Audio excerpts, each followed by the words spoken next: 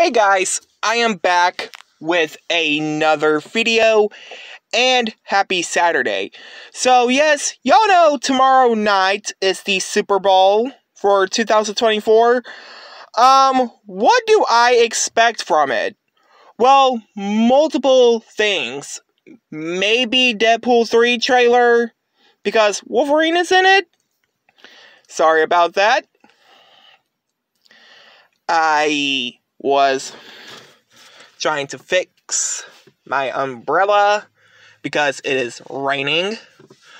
But I do want to see a trailer to maybe a f- no to the um well a DC movie which I don't think we're getting this year but who knows but mostly I'm excited for the Deadpool 3 trailer.